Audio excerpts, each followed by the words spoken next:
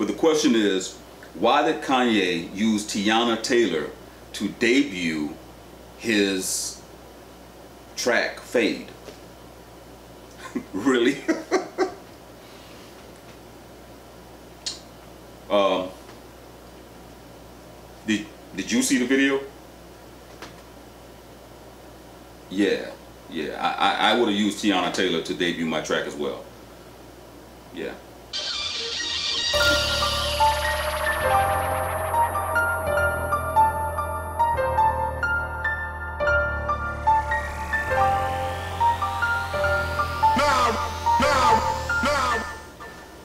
Again, and thank you for tuning in to Music Millionaires, where we not only teach the music business, but do our best to answer questions about your favorite artists, give reactions to music videos, movie scores, and more. I am your host, SG1, one half of the PieceMakerz and founders of the PieceMakerz. Uh, if you don't know about us, Google us and you'll see who we are. Um, and today is Comment Thursday it was something that we decided to create we figured we needed to start addressing comments and answer questions.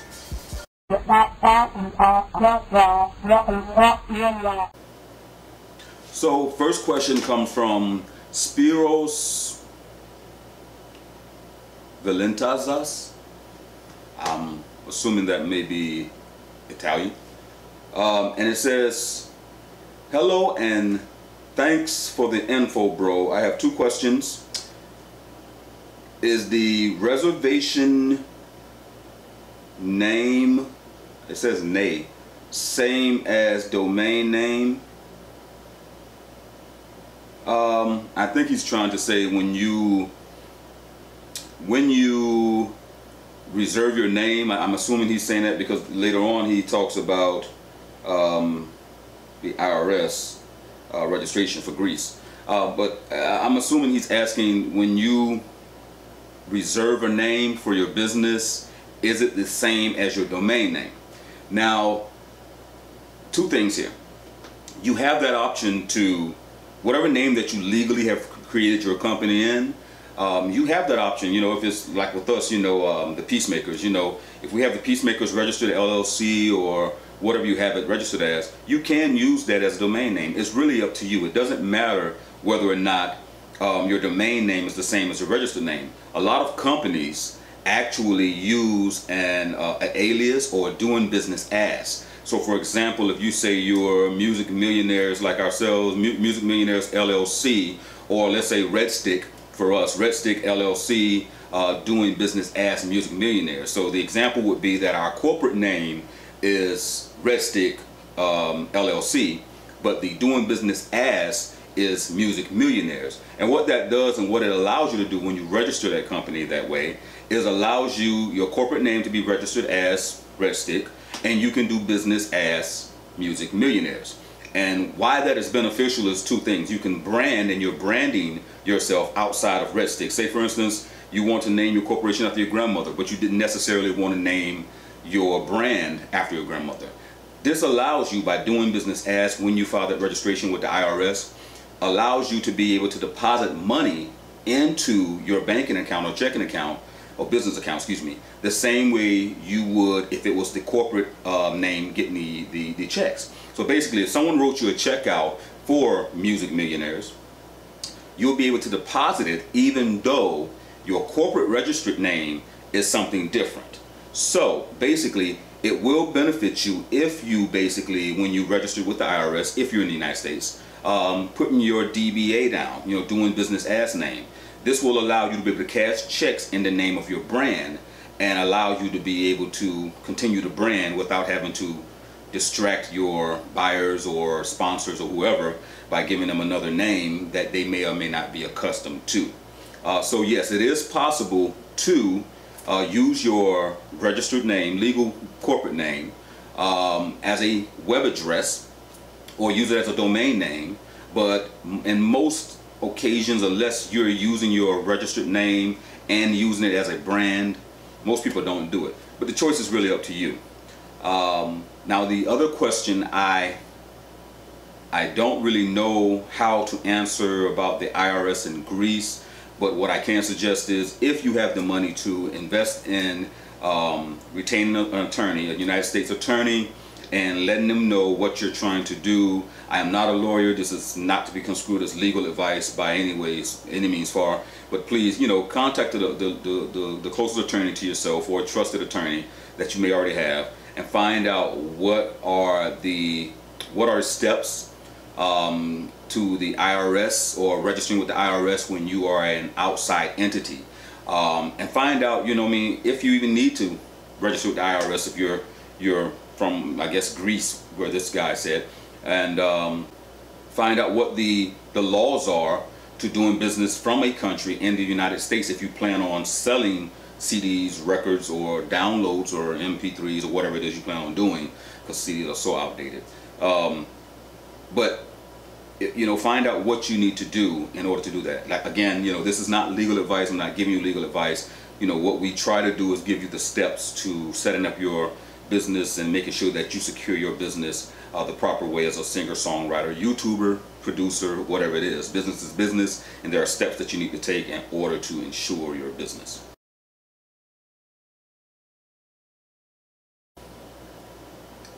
From, I'm not going to try to pronounce it, I apologize, but you know who you are.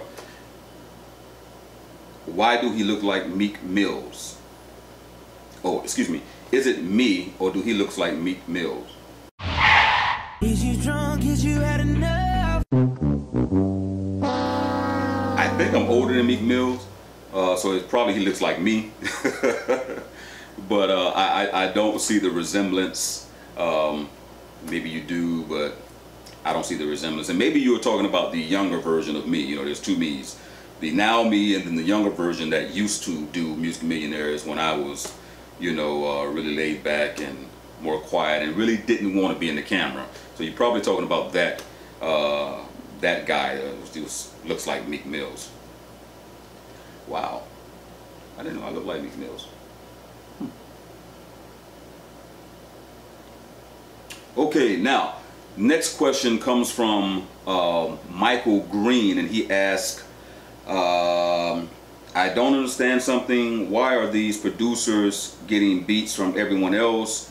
why would Dre and others need a beat? Why would he just not make his own? It's not like he like it's re, it's it requires knowing how to play an instrument. Why would this person making the video not be Dre himself? Good video by the way, especially the American Dream comment. Thank you, I appreciate that. So Michael, what I think you're trying to say is, why would someone like Dr. Dre need to hire or use producers like ourselves when he's Dr. Dre. I think that's what you're trying to get. He can just make the beat himself. Well, the best example I can give you is Microsoft, um, Bill Gates. Bill Gates is the, the name. This is the name that everyone is accustomed to. Bill Gates started out as a programmer and he, he programmed computers and built computers from scratch. But once Bill Gates created a brand, he created a company that became larger than himself. And Bill Gates does not hand make all of the computers. Dr. Dre cannot do all of the beats. He's a businessman. He has other things to do. There would be literally no possible way for him to produce all of the producers, I mean all of the artists that he's produced and take care of his business along with his family each and every day because one thing about the music business, once you get to a certain plateau, it, it requires all of your time producers allow him the freedom and time to take care of other business. Um, you know, you're talking about interviews, you're talking about sponsorships, you're talking about branding, you're talking about um, royalties, you're talking about all the different things. Now, I'm not saying that Dre doesn't make tracks. Yes, he does. Dre is one of the most hands-on people that we've seen. Dre is hands-on with the artist and very, very smart, uh, meticulous when it comes to his business. But to think that uh, he'll have time to do this all himself, you know I mean, would be ridiculous. Also, it's not smart business practice. You know, when you look at chefs, yes, you have a, a master chef, and that chef walks through a kitchen of chefs. But you have this chef that might have cooked this dish, but it was the recipe from Wolfgang Puck. Okay? Wolfgang Puck gets the credit for it. He's not only going to get credit, he's going to give you credit as well, and you guys can split the revenue on that particular meal or dish, which is what, uh, you know, under chefs do. Or, or, you know, they get credit for their uh, involvement. They get credit. They get paid for it, and it and it works the same way in the music industry.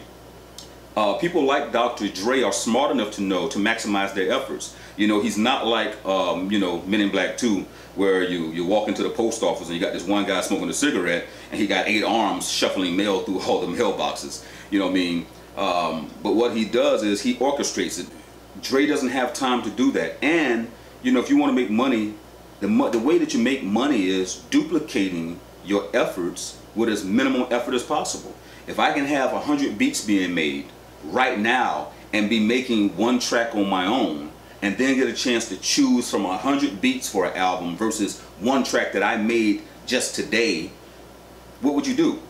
And still get credit for it and still get paid for it because I'm going to be that one, that that producer that possibly turns the world on to a new up and coming producer and get paid for doing it. Who wouldn't want that? You know what I mean? This is about duplication, duplicating your efforts with as minimum effort as possible and still getting paid. That's a businessman. This is a business. This is what businessmen do. So why Dre would not be putting his hands on every track is that simple. My efforts are duplicated. I control the final outcome of the product. In other words, he determines what you hear, okay? He becomes the executive producer, which he is. You get to be a co-producer and get credit.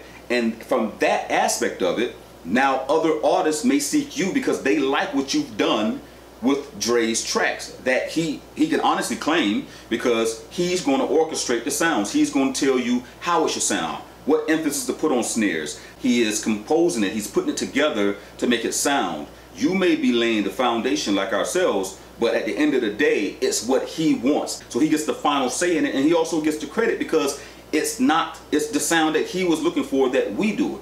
You know, a lot of times, yes, you can have a track that producers create that needs no touching at all. You know what I mean? Some, I mean, there's producers I've met, known, worked with, producers that have mad skills. You know what I mean? I mean, literally, you know, from the Scott Storches to the to the Brissett's, Andre Brissett. You know what I mean? That have mad skills that literally, you know, the track don't need anything else, just to be fine tuned and mastered. So, just to give you, you know, just to give you an idea, you know, this is this is the music business. This is the part that we're trying to teach you guys now. Duplicate your efforts with minimum efforts and maximum profit. Hey guys, if you like this video, make sure to subscribe below. Also, check out the video right here. And don't forget, comment. If you have any questions, if you got something you want to say or got any ideas, comment below. We'll check them out.